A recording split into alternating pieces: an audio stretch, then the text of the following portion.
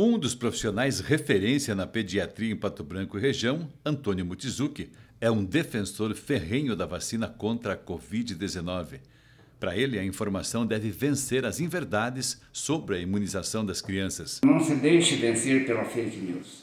Tá? A vacina é segura, realmente você estará protegendo o seu filho. Vovô, você estará protegendo seu neto. Então incentivem para que tomem a vacina. Ela é segura. O médico explica ainda que pequenas reações são normais em todas as vacinas. A reação normal é ter dor no local, fazer a febre, fazer algumas reações desse tipo. Né? Então, essa vacina, ela não tem nada de ser inativada, ou vacina é, com, com o vírus atenuado. Tá? Então, não vai fazer a doença, é essa segurança. Se gerou por causa de uma vacina chamada RNA mensageiro. Uhum. Mas isso aí já foi estudado, já tinha segurança. Então não foi feito a toque de caixa. Então não é uma vacina experimental.